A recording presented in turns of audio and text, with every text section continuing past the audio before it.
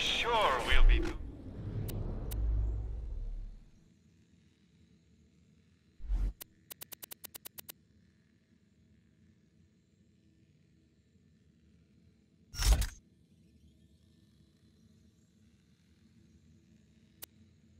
This again soon enough.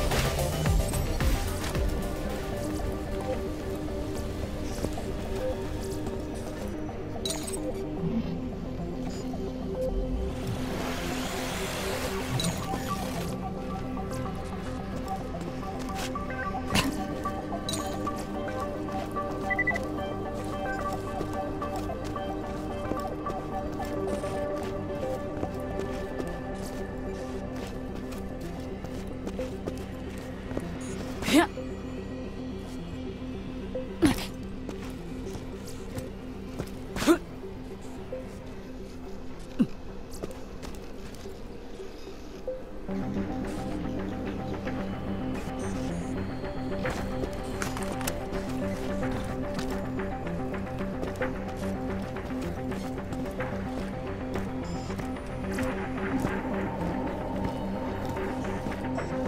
Yeet.